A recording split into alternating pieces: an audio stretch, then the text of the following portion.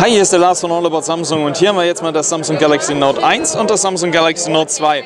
Und viele fragen sich ja jetzt, lohnt sich das Update? Naja, der normale Nutzer sieht erstmal nur ein 5,3 Zoll Display und hier ein 5,5 Zoll Display. Beide ungefähr mit der gleichen Auflösung. Hier haben wir 1280, hier haben wir mal 800, hier haben wir 1280 mal 720 Pixel. Theoretisch ist hier die Auflösung niedriger.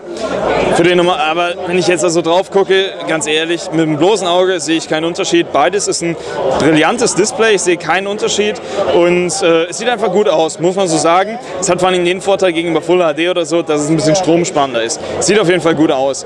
Ansonsten, das Design ist jetzt an das Samsung Galaxy S3 angelegt. Das muss man auf jeden Fall so sagen. Es ist ein bisschen, äh, also man hat hier diese silberne Leiste, die ist nicht so geschwungen wie beim S3. Hier hat man, naja, irgendwo auch sowas, aber es ist halt nicht so wie beim S3. Von der Rückseite vor allen Dingen ist ein ganz krasser ähm, Unterschied, äh, ganz krasse Ähnlichkeit zum Samsung Galaxy S3. Wenn ich das mal daneben lege, ähm, da sieht man, das ist halt der große Bruder. Das ist das Samsung Galaxy Note nicht. Unter der Haube, da hat sich auf jeden Fall was getan, weil hier haben wir noch einen 1,4 GHz Dual-Core-Prozessor hier drin mit 1 GB RAM als Arbeitsspeicher.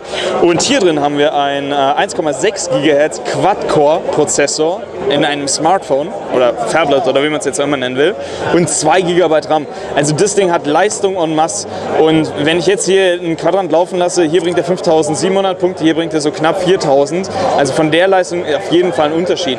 Was Samsung auch geändert hat, ist der S-Pen. Hm, der S-Pen des Samsung Galaxy Note ist, naja, im Vergleich zu dem neuen S-Pen ein Witz, weil der ist viel kleiner, dadurch ergonomisch schlechter, wenn man irgendwas schreiben will und so weiter.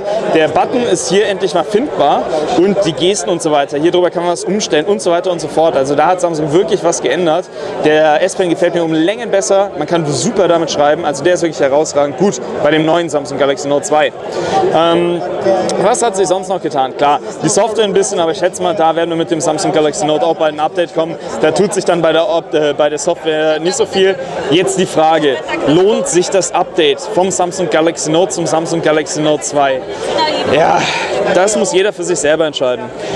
Habe Fälle, wo das Samsung Galaxy Note an seine Grenzen kommt. Gibt es. Bestimmte Spiele und so weiter, die laufen nicht ruckelfrei. Hiermit gar kein Problem. So viel Leistung so viel Arbeitsspeicher ist definitiv ein Mehrwert. Ob das für den normalen Nutzer ein Update rechtfertigt, das kann nur jeder für sich selber entscheiden. Der S-Pen ist besser, klar, das Display ist ungefähr gleich, die Software wird mit dem Update auch ungefähr gleich sein, aber die Leistung ist hier doch mal unter der Haube deutlich besser und der Akku gleichzeitig nochmal ähm, verbessert worden, 3100 mAh, hier nur 2500, aber ein besser, verbessertes Energiemanagement, das heißt, es sollte auch noch länger halten. Ich persönlich finde das Note 2 sehr gelungen, gefällt mir sehr gut, aber es ist natürlich, wenn man es jetzt im direkten Vergleich von der Größe sieht, auch einen Ticken größer. Und irgendwann kommt auch meine Jeans an seine Grenzen. Irgendwann reißt das Ding. Also das wird schon hart. Wir können das mal kurz testen. Einmal kurz gucken mit der Kamera. Das ist die Hosentasche.